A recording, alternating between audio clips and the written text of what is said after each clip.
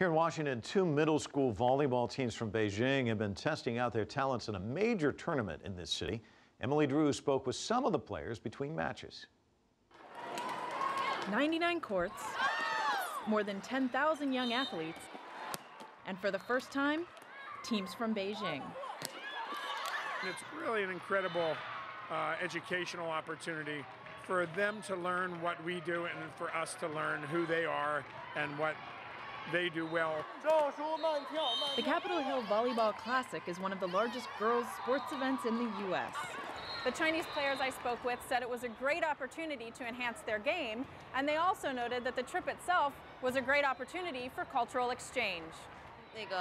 We scrimmaged with a team from Maryland University and did some cultural activities a few days ago. We visited the Statue of Liberty, the White House, and Capitol Hill. And go shopping. Program organizers said the Beijing teams added significance to the tournament, which will bring more than $13 million to Washington, D.C. Overall, sport has been a bringing together of people. And that's a lesson the Chinese players are eager to take back to Beijing. Emily Drew, CCTV, Washington.